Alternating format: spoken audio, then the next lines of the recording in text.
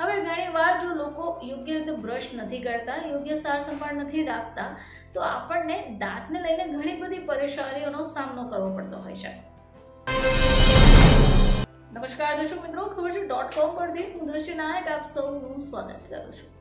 દર્શક મિત્રો, આપણા દાંત સારા હોય, સ્વસ્થ હોય, તો ચહેરા પર એક અલગ જ સ્માઇલ આવે છે. જેનાથી આપણો ચહેરો પણ સુંદર દેખાય છે.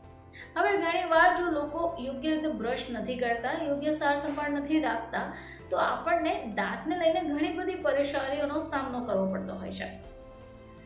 તો મિત્રો, શું આપને ખ્યાલ છે કે દાંત ક્લીન રાખવા માટે તમારે દસ મિનિટ તો કાઢવી જ પડશે? જો હવે આ વાત તમને સાંભળવામાં અજીબ લાગશે, પરંતુ સાચી છે. ઓરલ હેલ્થનું પણ દરેક વ્યક્તિએ ધ્યાન રાખવું જ જોઈએ.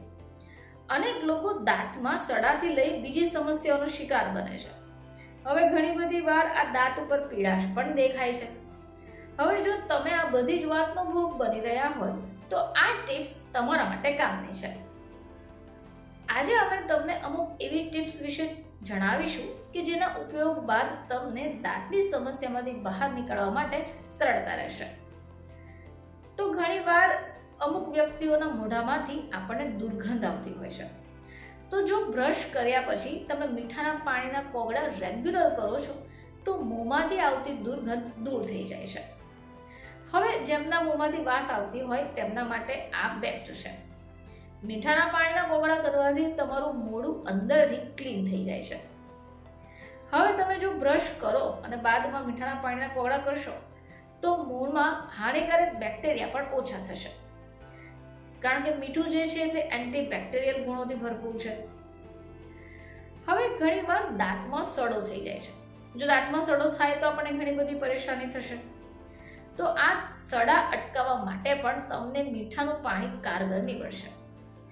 મીઠાના પાણીથી કોગળા કરવાથી તમારા દાંતની અંદર જે સડન હશે તે દૂર થશે, કીડા નાશ પામશે. આની સાથે તમને સોજા પણ નહીં આવે. હવે ઘણા દાંતની ઉપર પીળાશ જામી જશે. હવે આનાથી શું થાય કે આપણે અન્ય વ્યક્તિઓની સામે સ્માઇલ આપવામાં અથવા કંઈક બોલવામાં થોડું કચાશ રાખીએ છીએ. બધું જો આ પરેશાની છે, તો પણ મીઠાના પાણીના જ કોગળા કરવાના છે. મીઠાના પાણીના કોગળા કરવાથી ધીરે ધીરે દાંત પરની જે પીડાશ છે તે ઓછી થઈ જાય છે. અને તમને મુશ્કેલી પણ નહીં થાય. તો મિત્રો જે લોકો સવારે દસ મિનિટ પણ પોતાના દાંતોને નથી આપી શકતા, તેઓ પોતાના દાંતની સંભાળ પણ નથી લઈ શકતા. જો તમને પણ આવી કોઈ તકલીફ હોય, તો મીઠાના પાણીના કોગળા ચોક્કસથી કરજો. ફરીથી તમારી સમક્ષ હાજર થઈશું ત્યાં સુધી જોતા રહેજો, ખબર છે ડોટ કોમ